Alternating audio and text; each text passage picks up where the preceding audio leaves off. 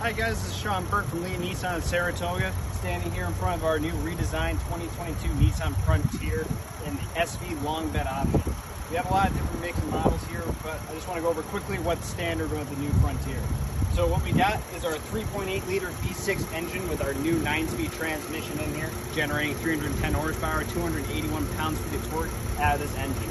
We're also going to have a uh, capability up to 6,700 pounds of towing out of this model. They went through a fresh redesign, going to its boxy aggressive styling that you used to have in the past.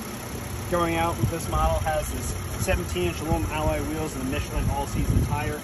We got the nice running board steps on this model to make it easier for getting in and out of it. Comes standard with Apple CarPlay, Android Auto, and available uh, safety technology which is Nissan 360 Shield.